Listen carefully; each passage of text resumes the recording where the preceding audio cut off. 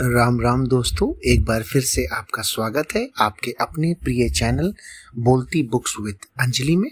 और आज मैं आपके लिए बाल राम कथा का पार्ट 11 लेकर के आया हूँ, जिसका शीर्षक है लंका विजय। लंका कूच की तैयारियाँ रात भर चलती रहीं। सभी तत्पर सभी उद्यत, सुबह कूच से पहले सुग्रीव ने वानरों को संबोधित किया युद्ध के बारे में। कहा, युद्ध भयानक होगा। इसमें केवल वही सैनिक जाएँगे जो शारीरिक और मानसिक रूप से स्वस्थ हों, जो दुर्बल हैं, यहीं रुक जाएँ। वानर सेना को युद्ध के नियम बताए गए, रक्षा और आक्रमण के तरीके। सेना किशकिंदा से दहाड़ती, गरजती, किलकारियाँ भरती, रवाना हुई। राम, लक्ष्मण और सुग्रीव की जय जयकार से आकाश गूंज उठा। लाखों वानर थे, चारों ओर कोलाहल। वे पेड़ों, पहाड़ों को रौंदते चले जा रहे थे। इसका नेतृत्व नल कर रहे थे। सुग्रीव के सेनापति, जामवंत और हनुमान सबसे पीछे थे। यह सेना की रणनीति का हिस्सा था। दिन भर चलकर सेना ने महिंद पर्वत पर डेरा डाला। वही पर्वत जहाँ से हनुमान ने छलांग लगाई थी। समुद्र निकट ही था। पर्वत पर सेना का ध्वज लगाया गया। तंबू लगे। पताकाएँ हवा में लहरा रही थी। उधर लंका में खलबली मची हुई थी। राक्षसों में बेचैनी थी। उनके मन में डर बैठ गया था। राम की शक्ति को लेकर। जिसका दूत लंका में आग लगा सकता है, वह स्वयं कितना शक्तिशाली होगा। नगर में चर्चा का विषय यही था, लेकिन रावण इससे अनभिज्ञ था। उसे कौन बताता? किसी में इतना साहस नहीं था। ये चर्चाएँ विभीषण ने सुनी। नगर की हताशा उससे देखी नहीं गई। ऐसी हताश सेना युद्ध नहीं कर सकती। उसकी पराजय निश्चित है। वे रावण के पास गए। उसे सही स्थिति बताने, समझाने, राम से युद्ध न किया जाए। उन्होंने कहा, आप सीता को लौटा दें। सबका कल्याण इसी में है। सीता मिल जाएँगी तो वे आक्रमण नहीं करेंगे। रावण ने विभीषण की बात अनसुनी कर दी। उन्हें अपने कक्ष से निकाल दिया। क्रोध में वह स्वयं भी उठकर चल पड़ा।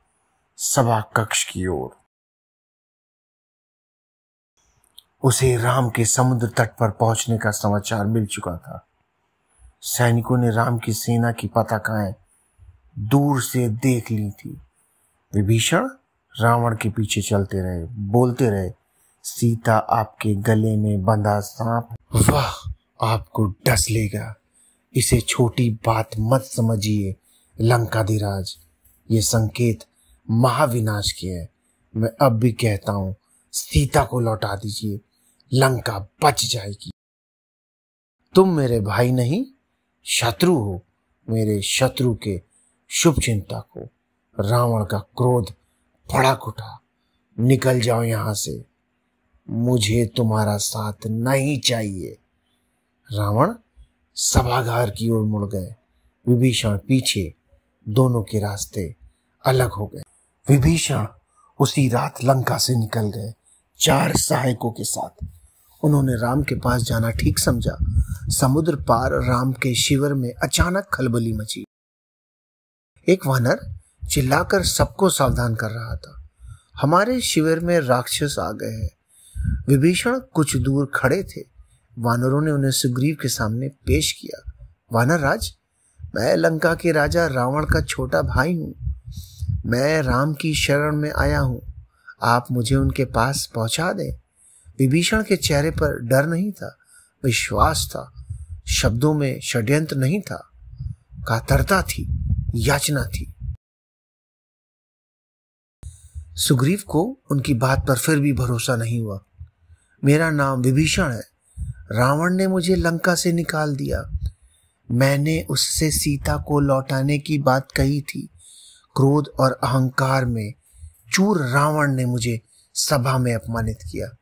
मैं प्राण बचाकर आया हूँ। एक बार राम से मिलवा दे।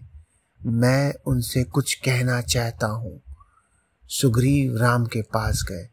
मन में शंका, अब भी थी अंगद भी उन्हें संदेह की दृष्टि से देख रहे थे। राम ने बात सुनी और कहा, हमें विभीषण को स्वीकार करना चाहिए। मैं शरण में आए व्यक्ति को कभी निराश नहीं करता। यह मेरी नीति है। विभीषण को आदर से अंदर लाइए। विभीषण राम के पास पहुँचे। राम ने उनका सत्कार किया। लंका का समाचार पूछा। जल्दी ही विभीषण राम के विश्वास पात्र बन गए। उन्होंने लंका की बहुत सी जानकारी राम को दी। रावण और उनके योद्धाओं की शक्ति के बारे में बताया। कहा, रावण पर विजय प्राप्त करने के लिए बल और बुद्धि दोनों की आवश्यकता है। विभीषण, तुम चिंता मत करो। राक्षस मारे जाएँगे। लंका की राजगद्दी तुम्हारी होगी, भविष्य तुम्हारा है। राम ने कहा, राम की सेना के सामने एक बड़ी चुनौती थी, समुद्र। उसे कैसे पार करें? राम ने समुद्र से विनती की। तीन दिन बैठे रहे, कि समुद्र रास्ता दे दे। वह नहीं माना तो राम को क्रोध आ गया। राम का क्रोध देखते हुए समुद्र ने उन्हें सलाह दी। आपकी सेना में नल नाम का एक वानर है, वह पुल बना सकता है। उससे वानर सेना पार उतर जाएगी। नल ने अगले ही दिन काम प्रारंभ कर दिया।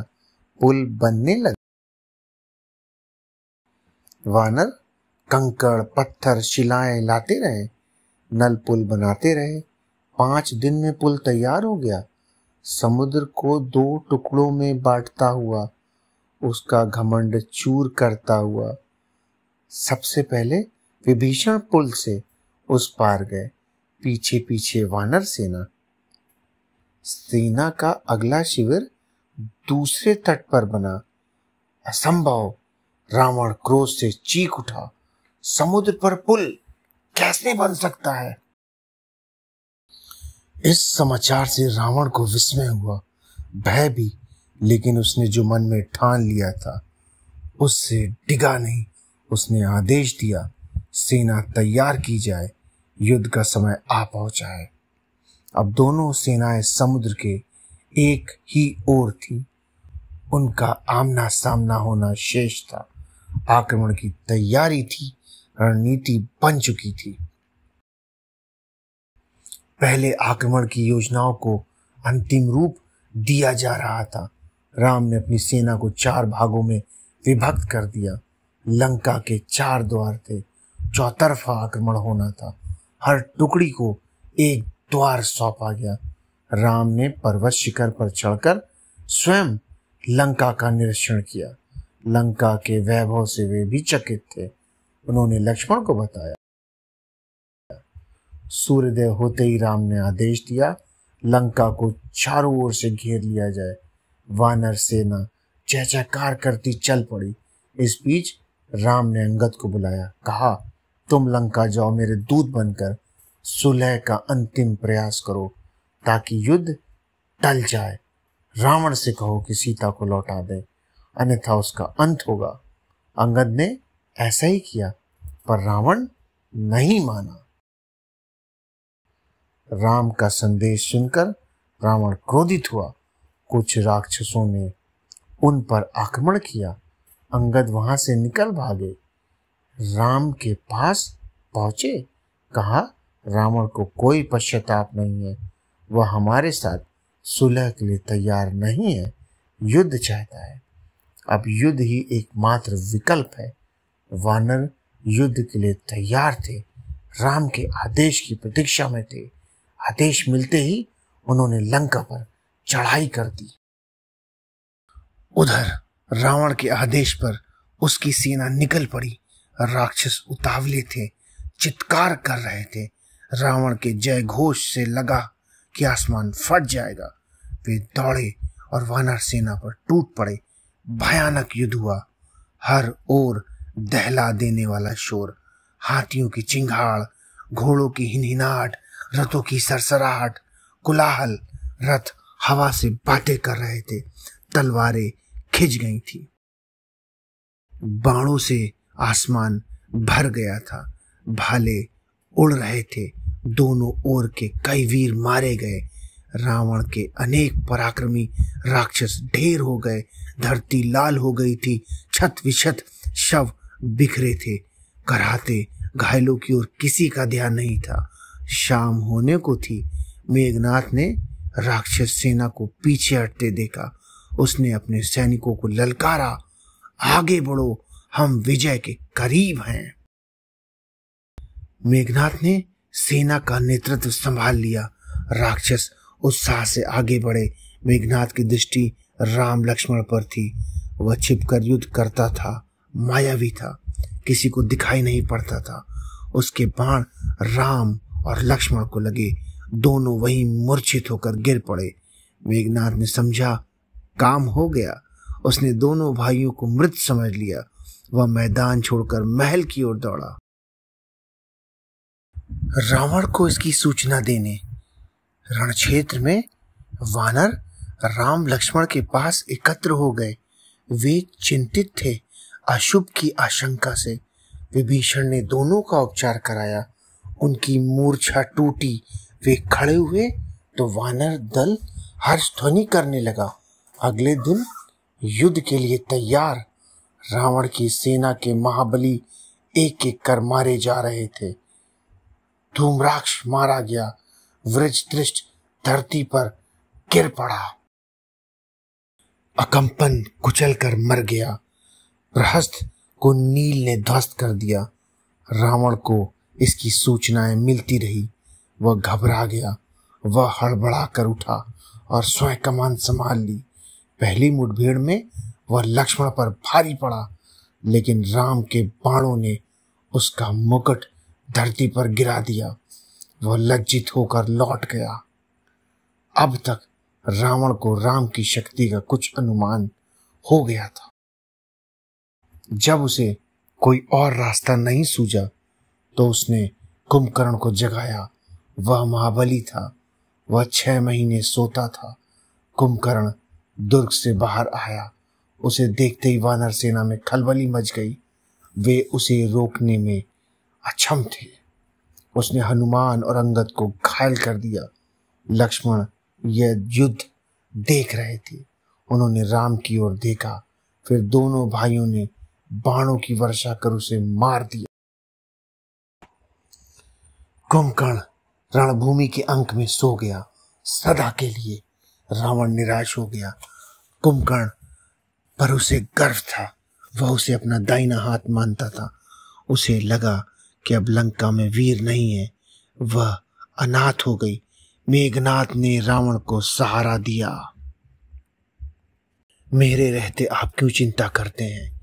मुझे युद्ध की अनुमति दे। मैं दोनों भाइयों को मारकर आपके चरणों में रख दूँगा। मेघनाथ और लक्ष्मण का भीषण युद्ध हुआ। मेघनाथ पराक्रमी था। उसने एक बार इंद्र को परास्त कर दिया और इंद्रजीत कहलाया। उसके बाणों ने कई प्रमुख वानरों को घायल कर दिया। मेघनाथ को रोक पाना वानर सेना के बूते की बात नहीं थी। वह चक्रवात की तरह आगे बढ़ा। जो भी आसपास होता, ध्वस्त हो जाता। वानर सेना मेघनाथ की गति और शक्ति से चकित थी। चमत्कृत। उनके मन में निराशा बैठती जा रही थी। तब लक्ष्मण ने उसे चुनौती दी। दोनों का निशाना अचूक था। बाण हवा में टकराते और नष्ट हो जाते। अचानक लक्ष्मण का एक बाण उसे लगा। वह घायल हो गया। झुक गया, लक्ष्मण ने ताबड़तोड़ बाणों की बरसात कर दी। आगे बढ़ना कठिन था। मेघनाथ पीछे मुड़ा, महल की ओर भागा। लक्ष्मण ने कुछ दूर तक उसका पीछा किया। फिर रुक। गए मेघनाथ महल में घुस गया। लक्ष्मण को महल की संरचना नहीं पता थी, रास्ता नहीं मालूम था। विभीषण लक्ष्मण की दुविधा समझ गए। उन्होंने एक गुप्त मार्ग दिखाया। शेष काम आसान था। मेघनाथ महल में ही मारा गया। अपने ज्येष्ठ पुत्र की मृत्यु से रावण एकदम टूट गया, विलाप करने लगा, मूर्छित हो गया। होश आया तो उसकी दशा पागलों जैसी थी। क्रोध से बिलबिलाता हुआ लंका अनाथ हो गई थी। अब उसका कोई सहारा नहीं। मैं स्वयं रण क्षेत्र में जाऊँगा। लक्ष्मण के साथ वानर सेना भी महल में प्रवेश कर गई थी। उनके हाथों में जलती हुई मशाले थी। वानरों ने लंका में जहाँ तहां आग लगा दी, अन्न भंडार फूंक दिए, शस्त्रागार जला दिए, मारकाट मच गई, जो भी सामने पड़ा, मारा गया। कंपन, रजंग, युपाक्ष, कुंभ मारे गए। हनुमान ने निकुंभ देवांतक और त्रिशिरा को मौत की नींद सुला दिया। अंगद ने नरांतक तक का काम तमाम कर दिया। लक्ष्मण ने अतिकाय का सिर काट डाला। राक्षस सेना भाग खड़ी हुई। रावण के पास अब कोई विकल्प नहीं था। युद्ध नाद हुआ। अकेला बचा रावण युद्ध के लिए निकला। फुकारते हुए फन कुचले सांप की तरह वह जिधर मुड़ता भगदड़ मच जाती, वानरों को भागते देख लक्ष्मण आ गया है। धनुष बाण लिए रावण के सामने अमेत दीवार की तरह खड़े हो गए। थोड़ी देर में विभीषण वहाँ पहुँच गए। उसके बाद राम, उनके सामने रावण की एक न चिड़ी। विभीषण को राम की सेना में देख रावण उबल गया। उसके लिए यह देशद्रोह था। छोटे भाई का विश्वासघात। उसने विभीषण पर निशाना लगाया। लक्ष्मण ने वह बाण बीच में ही काट दिया। उसने दूसरा घातक बाण चलाया। इस बार लक्ष्मण बीच में आ गए। उन्होंने विभीषण को अपने पीछे छिपा लिया। बाण लगते ही लक्ष्मण अचेत हो गए। गिर पड़े। राम ने यह देखा।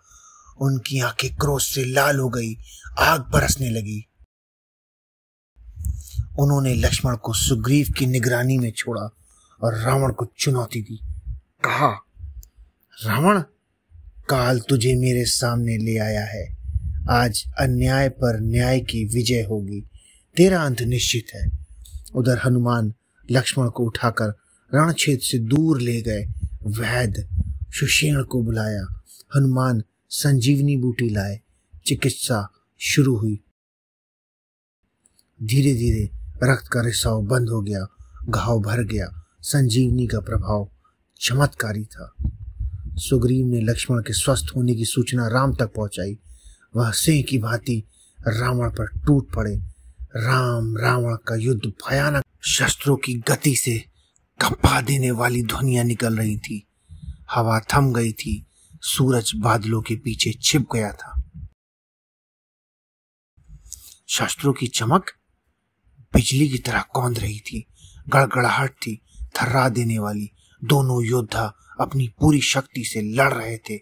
कोई एक रत्ती भी पीछे खिसकने को तैयार नहीं। कुछ ही देर में लगा कि युद्ध समाप्त होने को है। दोनों पक्ष के योद्धा हाथ बांधकर खड़े हो गए। छोटे छोटे युद्ध थम गए। सबकी नज़रें राम और रावण पर लगी थी। सबकी आँखें फट रही थी। पल के झुकना भूल गई थी। उन्होंने ऐसा युद्ध पहले कभी नहीं देखा था, लेकिन महासंग्राम समाप्त नहीं हुआ था। रावण का एक बाण राम को लगा। उनके रथ की ध्वजा कटकर गिर पड़ी। राम ने प्रहार किया। बाण रावण के मस्तक में लगा। रक्त की धारा बह निकली। बीच में युद्ध कुछ पल के लिए रुका। रावण अपने महल चला गया। घोड़े और रथ बदलने। राम को इसकी आवश्यकता नहीं थी। युद्ध फिर शुरू हुआ। अब उनके रथ एक दूसरे के सामने थे। योद्धा आँखों में आँखें डालकर देख सकते थे। घोड़ों के मुँह मिल गए थे। राम के बाणों ने रावण के रथ का मुँह मोड़ दिया। यह पराजय का संकेत था। रावण हिम्मत हारने लगा।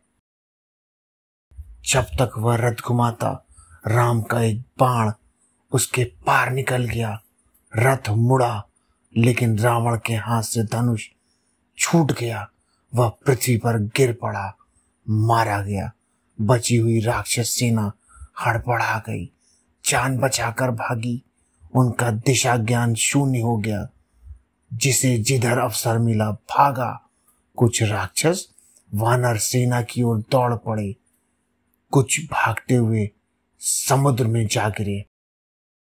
लंका विजय अभियान पूरा हुआ। राम की जय जयकार होने लगी। कुछ समय पूर्व का रण क्षेत्र एकदम बदल गया। शस्त्रों की टंकार की जगह किलकारियों ने ले ली। वानर सेना उछल कूद करने लगी। समुद्र से ठंडी हवा आ रही थी। शस्त्रों से उत्पन्न गर्मी वह अपने साथ बहाल, कुलाहल, तुमलनाद में परिवर्तित हो गया। प्रसन्नता सर्वव्याप्त थी। रण क्षेत्र में केवल एक व्यक्ति दुखी था। शोक से व्याकुल, विलाप करता हुआ अपने भाई के मृत शरीर के पास खड़ा था। राम ने विभीषण को समझाया, मित्र, शोक मत करो। रावण महान योद्धा था। उसकी अंत्येष्टि महानता के अनुरूप होनी चाहिए। मृत्यु सत्य है, उसे स्वीकार करो। राम ने एक एक वानर का आभार माना। सुग्रीव को गले लगा लिया। लक्ष्मण से विभीषण के राज्यभिषेक की तैयारी करने को कहा। चाहते थे कि रावण की अंत्येष्टि के बाद राज तिलक हो, उसमें विलंब न किया जाए, उन्होंने हनुमान को बुलाया, अशोक वाटिका जाने का निर्देश दिया। यह संदेश आपको ही सीता तक पहुंचाना है। उन्हें लंका विजय का समाचार दीजिए। उनका संदेश लेकर शीघ्र आइए। विभीषण के अंत्येष्टि से लौटने तक उनके राज्यभिषेक की तैयारी हो चुकी थी। लक्ष्मण राजमहल पहुँच गए थे। वानर स्वर्ण कलश में समुद्र का पानी ले आए थे। लक्ष्मण विभीषण के पास गए। उन्हें साथ लेकर राह सिंहासन तक आए। सोने का चमचमाता हुआ सिंहासन, रत्नों, मणियों जटित। समुद्र जल से उन्होंने सभासदों के सामने विभीषण का राज्याभिषेक किया। अब विभीषण लंका के राजा थे। इस बीच हनुमान अशोक वाटिका से लौट आए, राम के पास। उन्होंने कहा, माता सीता, लंका विजय का समाचार सुनकर प्रसन्न हुई। वे आपसे मिलने के लिए अधीर हैं। तब तक विभीषण वहीं आ गए थे। राम उनकी ओर मुड़े, कहा, लंकापति, सीता, अब भी आपकी अशोक वाटिका में है। उन्हें यहाँ लाने की व्यवस्था की जाए। वानर सेना चुहल कर रही थी। अटखेलियों में लगी थी। राम का निर्देश सुनकर उनकी उत्सुकता बढ़ गई। सुग्रीव, जामवंत और नल नील भी उत्सुक थे। अंगद को प्रतीक्षा थी। हनुमान को छोड़कर किसी ने सीता को नहीं देखा था। सीता आई तो सबको अपनी कल्पनाओं से अधिक लगी। सुंदर, सौम्य, शांत, उस सुंदरता में एक वर्ष बाद पति से मिलने की प्रसन्नता शामिल थी। कष्ट इतिहास हो गया था। तो दोस्तों, यहाँ पर बाल राम कथा का ग्यारहवा पाठ समाप्त होता है और हम अगले शनिवार फिर आपके समक्ष हाजिर होंगे पाठ बारह लेकर के। तब तक के लिए आप रखें अपना बेहतर ख्याल। राम राम।